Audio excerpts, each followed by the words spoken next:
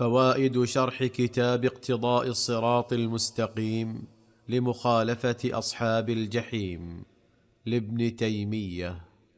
قال وأيضا فمما نهانا الله سبحانه فيه عن مشابهة أهل الكتاب وكان حقه أن يقدم في دلائل الكتاب. قوله سبحانه ألم يأن للذين آمنوا أن تخشع قلوبهم لذكر الله وما نزل من الحق؟ ولا يكونوا كالذين أوتوا الكتاب من قبل فطال عليهم الأمد فقست قلوبهم.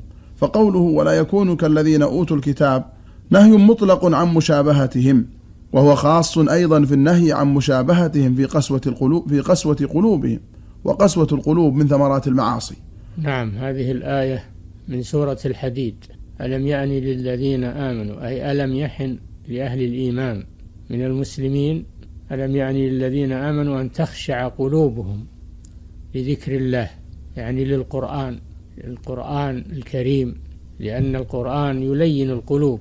كما قال سبحانه وتعالى الله نزل أحسن الحديث كتابا متشابها مثاني تقشعر منه جلود الذين يخشون ربهم ثم تلين جلودهم وقلوبهم إلى ذكر الله.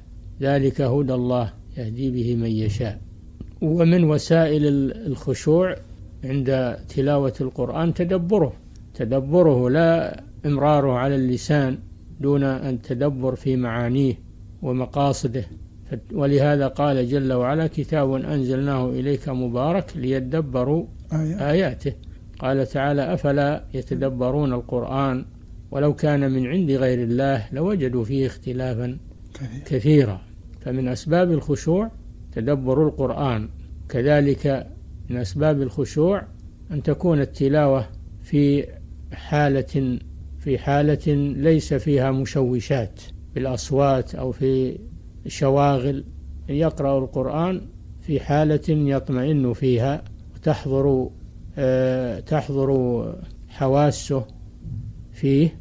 ولذلك جاء أن أن القيام في آخر الليل أفضل من القيام في أوله في أوله قبل النوم. قال تعالى إن ناشئة الليل هي أشد وطئا وأقوم قيلا.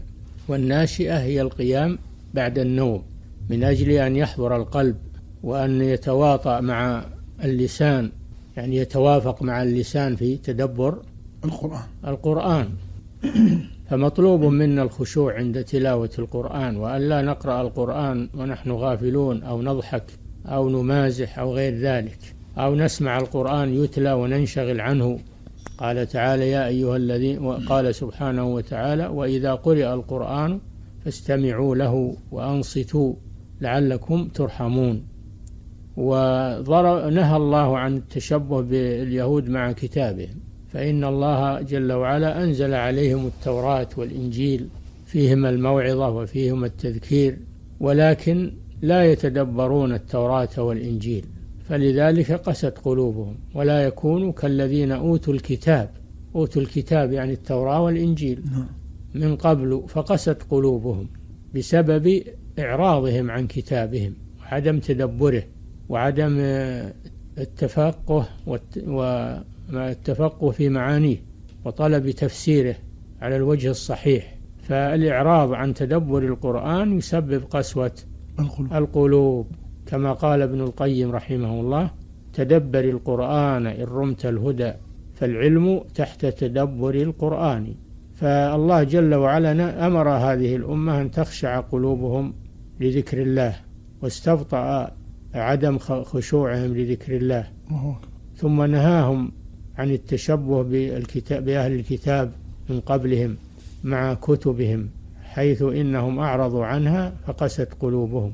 فالإعراض عن كتاب الله وعدم تدبره يسبب قسوة القلب والإقبال على كتاب الله تلاوة وتدبرا هذا مما يلين القلب.